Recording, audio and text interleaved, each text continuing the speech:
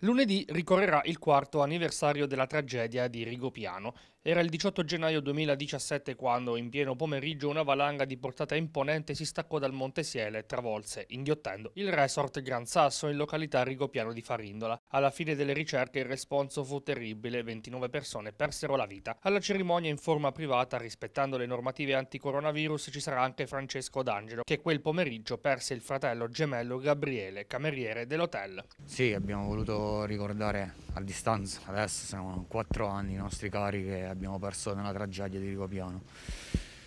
E siamo presenti, sarà una cosa ristretta, riservata a noi, saremo lì proprio per eh, fare una, la messa e per depositare un fiore per i nostri cari.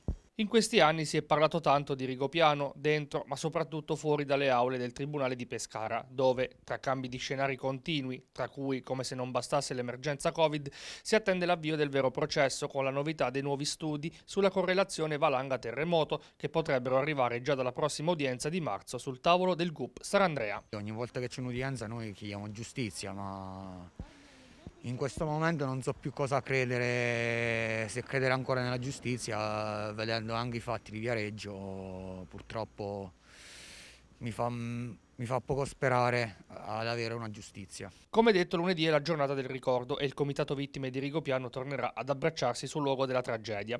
Per le ore 15 è previsto il ritrovo presso il totem, simbolo dell'hotel e dove dovrebbe sorgere il giardino della memoria, per la deposizione di un fiore. Poi alle ore 16, previa autorizzazione, è prevista una santa messa all'interno del sito dell'hotel, posto ancora sotto sequestro. Alla cerimonia saranno presenti il questore di Pescara Luigi Liguori, il prefetto di Pescara Giancarlo Di Vincenzo, oltre al presidente della regione Marco Marcello, Marsiglio e della provincia Antonio Zaffiri. Una corona, in ricordo, sarà inviata dal Presidente della Repubblica Sergio Mattarella.